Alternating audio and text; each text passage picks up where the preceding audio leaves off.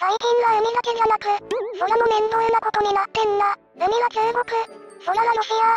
共産主義の二つの国が日本みたいな小さな民主主義国家に何の用ですかって話だよ。海での中国の領海侵犯の話は報道なんかでもよく聞くけど、ロシアの領空侵犯も未だに続いてるんだね。全く迷惑な話だよね。そうだね。ロシアだけが関わってるんじゃなく近年では、ロシア軍機が竹島付近を領空侵犯してきたから韓国側との竹島付近での領有権問題がさらに面倒なことになってるよね。日本の空を守る航空自衛隊としては、日々のスクランブル発進に大忙しだと思うよ。現在、航空自衛隊で運用されている F35 ライトニングの性能と、韓国側が運用する F35 ライトニングの性能比較で韓国側のメディアでは盛り上がってるみたいだね。その性能差について今回は詳しく見ていこうか。それじゃあ行ってみよう。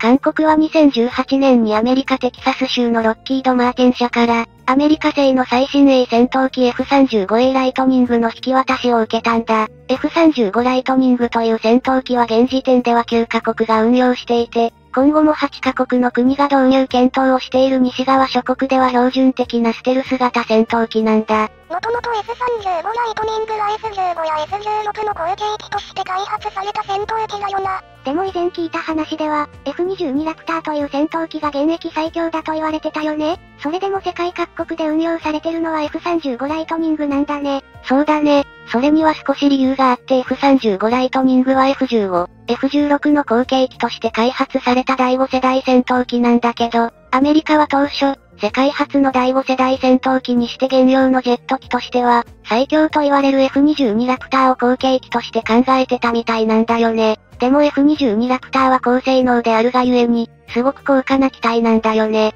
それに高性能であるがゆえの、維持コストも莫大な金額なんだ。だから、1000機以上も運用する F15 戦闘機の後継機とすることはコスト的にもかなり難しかったんだよ。それで高性能で低コストな後継機として F35 の開発が始まったと言われてるんだ。やっぱりいくら世界一の軍事大国アメリカでも無限にコストをかけるわけにもいかないんだね。そりゃあな、ロッキード・マーティン社の企業だからな。いくら高性能な戦闘機でも金額が高すぎて買ってもらえないのでは意味がないからな。この低コストで高性能な戦闘機の開発は総合打撃戦闘機計画と呼ばれていて、通常離着陸型、短距離垂直離着陸型、関西機型の構造を同一機体で実現して、空軍、海軍、海兵隊で同一の機体を運用できるようにすることで、生産機数の拡大によって運用コストや生産コストを削減しようとしたんだ。もちろん同一機体にこれだけの構造を組み込むことは、そう簡単にはいかないよね。開発はかなり難航し、遅れに遅れて開発費用も跳ね上がって40兆円を超えたと言われているんだ。40兆円、そんなに開発にお金をかけて採算は取れるのかな？まあそれでも、日本と韓国が導入する F35A は2016年8月に初期作戦能力を証明、獲得して、アメリカ空軍で実戦配備されることになったんだ。今後はアメリカ海軍、空軍、海兵隊で2443機調達する予定で、2070年代までの運用が予定されてるんだ。F35 ライトニングが A、B、C に分類されてたのは離着陸機の3つの構造の違いってことだったんだな。これだけアメリカ軍だけでも運用されるならかけた開発コストの無駄にはならんな。それどころか、その後の部品供給やメンテナンスのことまで考えると莫大な儲けになるな。やっぱり軍事産業っていうのがすごいよな。それじゃあ次は A、B、C をタイプ別に詳しく見ていこうか。まずは A 型だね。F35 戦闘機の中でも最も基本となるタイプだね。F35A は一般的な戦闘機と同じタイプで長大な滑走路を利用して離着陸するタイプ。垂直離着陸機構などの空戦に不必要な装置は装備してなくて、最も簡素な構造になってるんだ。でも、余計な装備がついていない分、最も軽量で航続距離、並走搭載能力、運用コスト、整備面などが優れていて最も高性能な機体だと言われてるんだ。A 型が一番世界各国で導入されてる戦闘機だってことだね。各国への導入状況は、オランダ、オーストラリア、ノルウェー、イスラエル、そして日本韓国、トルコなどに導入されてるよ。そして次は B 型だね。垂直離着陸機としては、西側諸国で唯一実戦配備された英国航空機メーカーの、ホーカーシドレイ社が開発したハリアーシリーズの後継機として開発が進められた機体で、アメリカでは海兵隊で運用しているハリアー2と置き換えることを目的としている。強襲揚陸艦などの正規の空母よりも小型の艦でカタパルトを使用せずに短い飛行甲板上で短距離離陸、短距離着陸垂直着陸で使用することを想定されてるんだ。B 型が一番実用的で使い勝手が良さそうだな。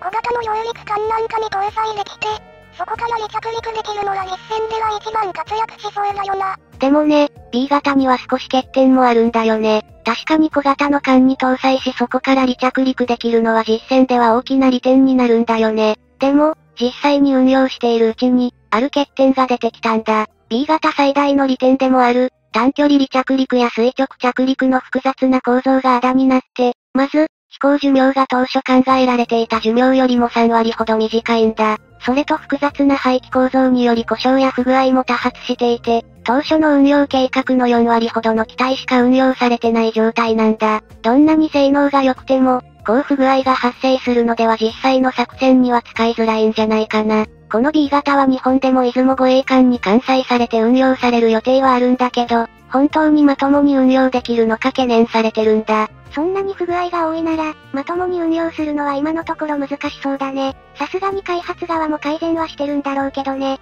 そして C 型だね。これはカタパルト発艦装置を装備している空母での運用を目的として開発された機体だね。空母から発艦するために必要な低速域での揚力を確保するために翼の面積が A 型よりも大きく作られていて、主翼の折りたたみ機構、機体構造の強化が施された機体だ。実はこの機体も B 型同様、整備性、信頼性に欠けていて稼働率はあまり高くはないんだよね。やっぱり開発にどれだけ金額をかけても不具合が発生するんだな。性能を向上させようとすればするほど、構造が複雑化して不具合が発生しやすくなる。これは戦闘機だけじゃなく他の工業製品や廉価製品なんかと同じだな。本当に開発者っていうのが大変だよな。そうだね。言ってもまだ F35 は運用されだして日が浅いからね。これから改善や改良を進めてまともに運用できる機体になっていくんだろうね。日本はこの F35 戦闘機をどれくらい購入して運用してるの？それじゃあ、何かと比較される韓国と比べてみていこうか。日本と韓国の F35 戦闘機の導入機数は、日本が現状で147機導入予定だね。一方韓国は60機を調達する予定だね。日本が導入しようとしている147機中、42機は出雲型護衛艦で運用を予定している短距離離着陸型の B 型だね。そうなると、やっぱり韓国も B 型が欲しくなってくるわけで、揚陸艦への艦載を検討するということで B 型の購入を検討しているようだね。やっぱりすぐ日本の真似をしたがるんだね。真似というか、日本にだけは遅れを取りたくないんだよな。韓国が日本よりも調達機数が少ないことについて、韓国メディアは韓国は量的には劣勢だが一定以上の保有は非効率との見解を示してるんだけど、韓国が導入する60機という機数が果たして本当に効率的な保有数なのかは疑問が残るよね。アメリカが2070年までの F35 の運用を予定してるんだけど、世界で5000機以上導入されている戦闘機の主力機がいつ入れ替わるかわからないので、現段階での戦力比較は無意味だという見解を示してるんだ。いや、これはいつもの負け惜しみだよな。うん。間違いないね。日本と比較されてるから絶対悔しいんだよね。まあ、それは置いといて、今後日本にも導入される B 型が改良、改善されきちんと運用できることを願うよ。それじゃあ今回はこの辺で。よかったら、チャンネル登録してね。いつも動画を見てくれてありがとう。Thank you. カムサムニラ。感謝、感激だよ。Thank you. カムサムニラ。感謝、感激だよ。Thank you. カムサムニラ。感謝、感激だよ。Thank you. カムサムニラ。感謝、感激だよ。Thank you. カムサムニラ。感謝、感激だよ。Thank you. カムサムニラ。感謝、感激だよ。Thank you. カムサムニラ。感謝、感激だよ。Thank you. カムサムニラ。感謝、感激だよ。Thank you. カムサムニラ。感謝、感激だよ。Thank you. カムサムニラ。感謝、感激だよ。Thank you. カムサムニラ。感謝、感激だよ。Thank you. カムサムニラ。感謝、感激だよ。Thank you. 神様にだ。感謝、感激だよ。